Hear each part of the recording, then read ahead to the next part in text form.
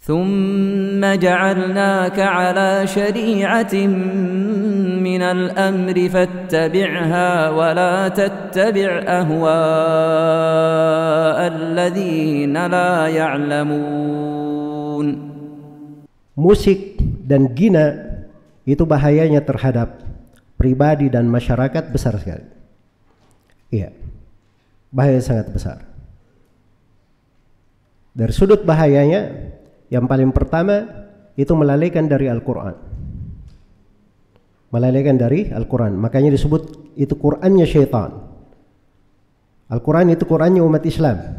Kalau musik Qur'annya siapa? Syaitan. Kemudian yang kedua melalaikan dari dikir kepada Allah.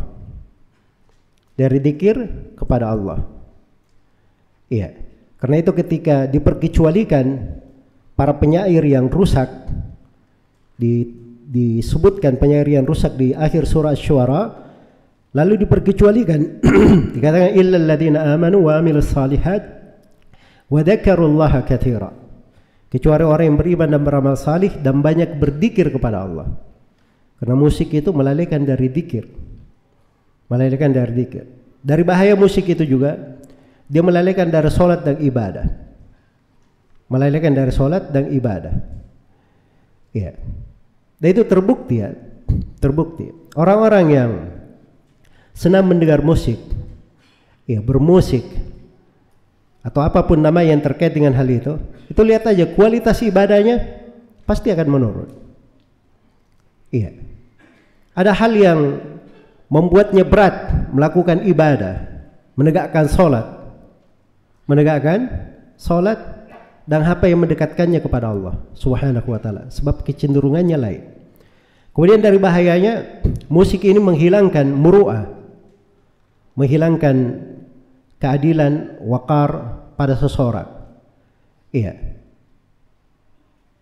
Baik. Kemudian dari bahayanya juga dia menghilangkan kecerahan akal, cahaya wajah, dan keindahan iman. keindahan iman. Dan dari bahayanya menumbuhkan kemunafikan di dalam hati. Menumbuhkan kemunafikan di dalam hati.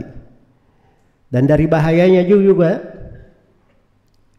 itu akan menyebabkan peluang-peluang syaitan mencelakakan hamba lebih banyak. Sebab musik itu permainannya syaitan, di seputar itu dia bermain. Maka begitu ada pada hamba, maka itu akan memberi ruang pada dirinya. Syaitan berada di dalam dirinya di berbagai keadaan. Iya. Kemudian musik ini itu akan menyebabkan seseorang mirip dengan ahlul fujur dan orang-orang kafir yang senang dengan hal tersebut. Karena itu Imam Malik ketika ditanya tentang apa namanya orang-orang yang bermusik ini bernyanyi ini kata beliau tidak ada yang melakukannya di kami di sini orang Medina kecuali orang-orang fasik. Kecuali orang-orang fasik.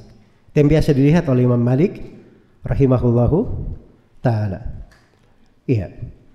Kemudian juga dari bahayanya ini akan memancing jiwa yang ammara bisu. Karena jiwa itu dikatakan dalam Al-Quran Inna nafsala ammaratun bisu illa ma rahimah rabbi. Sungguhnya jiwa itu gemar memerintah kepada kejelekan kecuali siapa yang dirahmati oleh Rabbku. Iya. Jadi kalau ada hal-hal syubhat, oh itu biasa dia. Karena memang dasarnya seperti itu. Perkara yang diharamkan itu seakan-akan jiwanya itu sudah tidak ada cemburunya, tidak ada girahnya, ada hal yang diharamkan, dia menjadi biasa. Tidak terlalu marah atau tidak terlalu hati-hati dan seterusnya. Baik. Kemudian dari bahaya musik ini juga ini membawa kepada kefasikan, kefajiran, jelek adab, kurang rasa malu kepada Allah Subhanahu wa taala dan kepada manusia. Dan kepada manusia. Iya.